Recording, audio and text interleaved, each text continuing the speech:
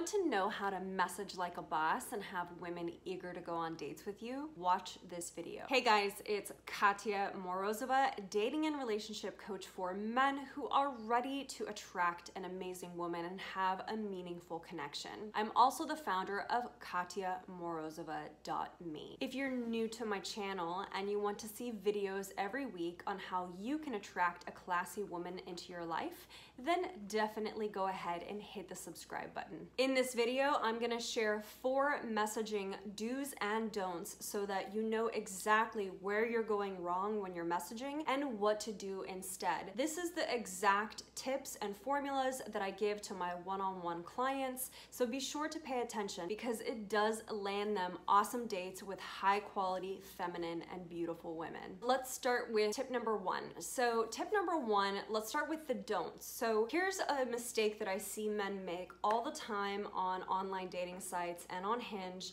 They message women, hi. They message some variation of the following. Hi, hey, how are you? How's your weekend? Or how's it going? Or hello. So those are about six variations that I see very often. Here's the problem with this. As a woman on a dating site, what happens is your inbox looks like a sea of the same message. So a guy will message you, you'll have 6, 10, 20 rows of guys just saying hi to you online. So what happens when, when a woman sees this in her inbox is she has to do her own filtering process to try to figure out which guy she's going to talk to. She's not going to talk to all of them because she doesn't have time. So what she's going to do is she's going to then maybe look at your profile or look at your photos if she only has generic messages.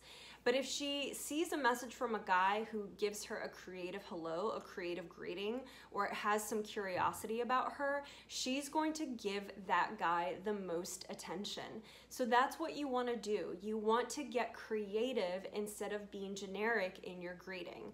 A few ways that you can do that is instead of saying hi, you can say hiya, or you can say howdy, or you can say konnichiwa, or you can say hola. Anything that is a little bit more creative and grabs her attention because again unlike your inbox, women are the ones that we're the receptors of all of your messages, right? Women typically don't send the first message. Most of the time, guys send first messages. I know it's a bummer, but nonetheless, that is how this game is played. So if you are the one that gets creative by sharing a creative greeting with her and then following it up with some kind of curiosity, you're just going to naturally stick out of the crowd and you're going to get so much more attention than if you just say hi. So again, never send a standalone greeting as a first message. Just never do that. Always get give a creative hello and then follow it up with some kind of curiosity about her or something to share about your own life. Now I want to hear it from you. Tell me, what is one creative greeting that you can try on Hinge this week when you message. Let me know in the comments below what you're gonna try. Let's move on to tip number two. So tip number two, let's talk about the don't first. So don't ask for a date in your first message. I see a lot of guys do this. I've heard a lot of women complain about this. And the reality is that you're just moving too fast. This person doesn't know you. They don't have any sense of rapport with you. So if you're sending a message saying, you know, it might be innocent enough, like, hey, let's grab a glass of wine at this place, or let's do this, or something seemingly innocent, right? And you're not thinking anything of it. You're not trying to take advantage of her. You just want to go grab a drink or a coffee or whatever. Nonetheless, she doesn't know you. And what's going to happen, it's going to feel like a record scratch for her. She's going to say, this is moving really fast, and it will feel like you're crossing her, kind of her boundary. And usually, because a woman doesn't know you, she's not going to respond and say, hey, you know, maybe this is moving a little bit too fast. She's probably just going to ignore the message and pay attention to the guy who knows how to keep the pace. Don't shoot yourself in the foot by doing this thing where you ask for a date in your first message. What you want to do instead is you want to go back and forth a few times. maybe four to six times. And you want to start to feel like there's a connection growing, that there's like some kind of emotional, energetic flow between the two of you. Maybe you're joking or you have something in common, you're joking about something, or you have something in common that you're connecting over. Then it would be a really good time to transition to a date and start to ask for her phone number. You can even hint at going out if you guys are talking about something where she's like, oh, I really want to go to this place, but don't jump right to it. Build a connection, build rapport.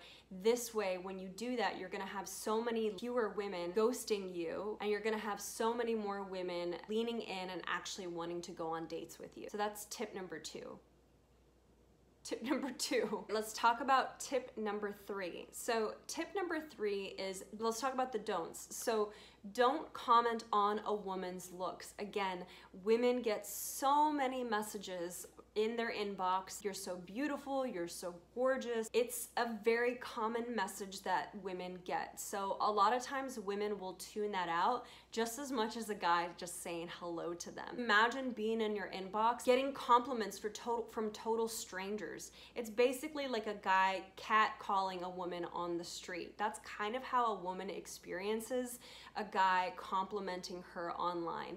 I know that sounds a little bit extreme, but when you get so many messages commenting on your looks, it feels a bit objectifying to women, and so women get really tired of that. I was watching a YouTube video of this girl who was online dating, and she said something really funny that I thought was really interesting, and I wanted to share this with you. She said, Of course you think I'm pretty. You matched with me. And I thought, gosh, that's so true. If you matched with a woman online, online, of course you think she's beautiful. Otherwise, you wouldn't have chosen her to match with. It's kind of like, um,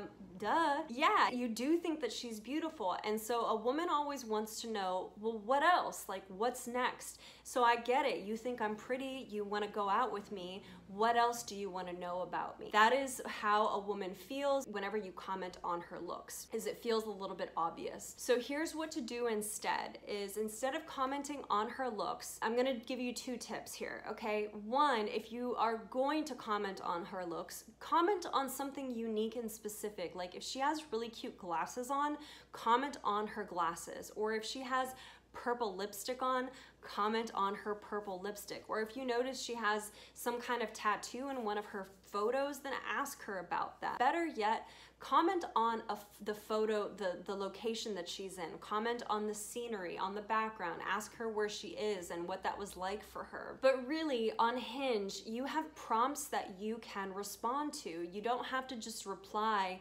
to her photos and how she looks, you can ask her about what she says in her prompts. So I would recommend that you focus on commenting on her prompts and getting into a conversation that is other than her looks. It's gonna give you like a topic for you to actually dig into, right? If you comment on a woman's looks, all she's gonna say is thank you, and then what, right? But if you start to comment on something specific to her, if you comment on something that you found interesting, then that's gonna open up an entirely new conversation. So that's tip number three is instead of commenting on a woman's looks, comment on a prompt or something specific and unique that you notice about her. Let's talk about tip number four. Don't ask her a billion questions. And this is a tricky one because you're like, Katya, you asked me to get curious about her. I'm getting curious and now you're telling me not to be too curious about her. I get it. I get it. Online dating is tough but really online dating is not meant to share your life story or ask for hers.